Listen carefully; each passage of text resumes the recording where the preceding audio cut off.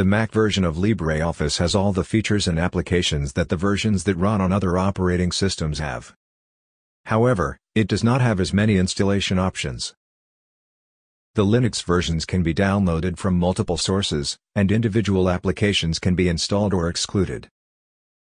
The Windows version has an installation wizard that allows for components and languages to be added or excluded. There is a portable version that can be run on more than one PC, and there are versions in the Windows 10 store. For the Mac, the LibreOffice DMG can be downloaded and installed or LibreOffice Vanilla can be installed from the Mac store.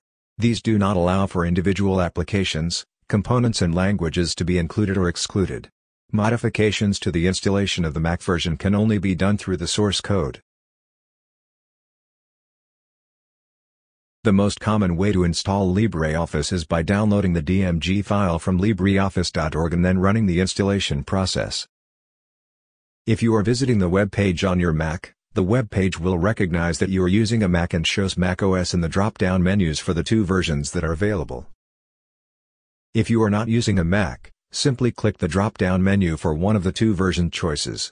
Then click on macOS, 64-bit. The DMG can simply be placed on a thumb drive or a file hosting service, like Dropbox, so it can be put on a Mac. The latest version is on top. It has the latest features and changes from the development team. The bottom version is older, but most likely has less bugs because it has been tested for a longer period of time. The next step is to click the download button for the desired version. After clicking the download button, you will be taken to a donation page. There is no need to make a donation. The download has already started.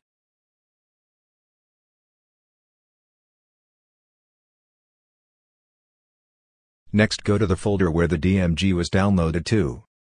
Double-click it and wait for it to verify.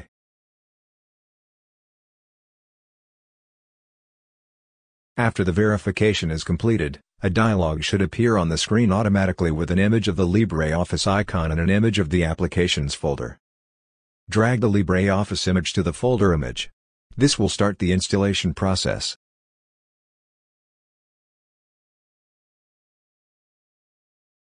This video has been an overview of installing LibreOffice on Mac. Thank you for watching. To learn more about LibreOffice check out the other OS College videos on the YouTube channel or social media pages. There are more videos and articles on the OS College website.